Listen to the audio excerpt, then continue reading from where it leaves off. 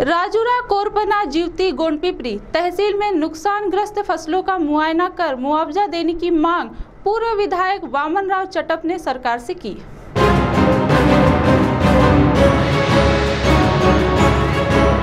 बीते कुछ दिनों पहले बेमौसम बारिश आने की वजह से बड़े पैमाने पर किसानों की फ़सलों का नुकसान हुआ है और नुकसानग्रस्त किसानों को पच्चीस हज़ार रूपए हेक्टर के तहत आर्थिक मदद देने की मांग शेतकरी संगठना के नेता तथा पूर्व विधायक एडवोकेट वामनराव चटप के नेतृत्व में संगठन ने मुख्यमंत्री से की है।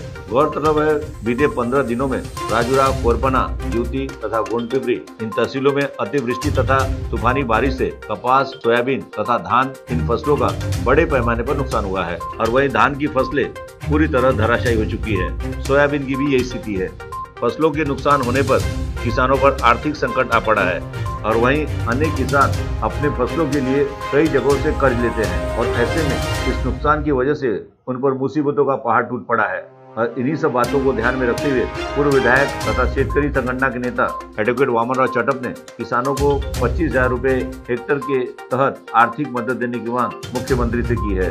वहीं इस मौके पर पूर्व विधायक वामनराव चटप तथा शेतकरी संगठन के अन्य पदाधिकारियों ने खेतों में जाकर फ़सलों का मुआयना किया। इस मौके पर एक निवेदन जिलाधिकारी के माध्यम उन्होंने महसूल मंत्री, गृह मंत्री तथा सरकार को भेजा। इस दौरान पूर्व विधायक एडवोकेट वामनराव चटप के साथ एडवोकेट मुरलीधर देवालकर प्रभाकर दिवे, अरुण नवले, नीलकंठ कोरांगे, प्राध्यापक ज्योत्ना मोहितकर, पूर्णिमा निरांजने तेजस्वी कावड़े, इंदू भारसिंगे सुधा श्रीराम चंद्रकला ढवस एडवोकेट शरद कार्यकर एडवोकेट श्रीनिवास मुसड़े के साथ बड़ी संख्या में शेतकारी संगठना के पदाधिकारी एवं कार्यकर्ताओं की उपस्थिति थी। सी टीवी के लिए हमारे विशेष प्रतिनिधि कृष्ण कुमार की रिपोर्ट।